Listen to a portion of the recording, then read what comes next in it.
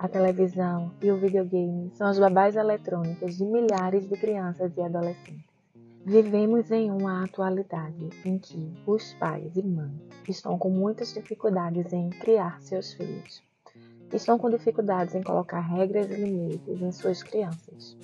E eu tenho recebido no consultório esses pais que se queixam de que trabalham muito e não conseguem estar presentes na vida de seus filhos. Só que a gente está vivendo uma atualidade em que a televisão e o videogame são as babás eletrônicas de milhares de crianças e adolescentes. E isso vem tornando um alto índice de dependência tecnológica.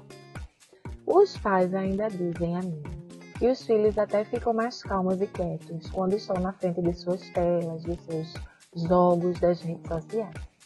Mas o que eu venho percebendo é que a gente está perdendo uma grande e excelente oportunidade de criar conexões com nossos filhos.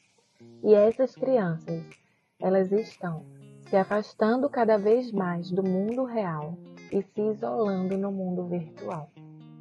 E a reflexão de hoje é que a qualidade do tempo que você dedica a seu filho é muito mais importante do que a quantidade que você dispõe para ele.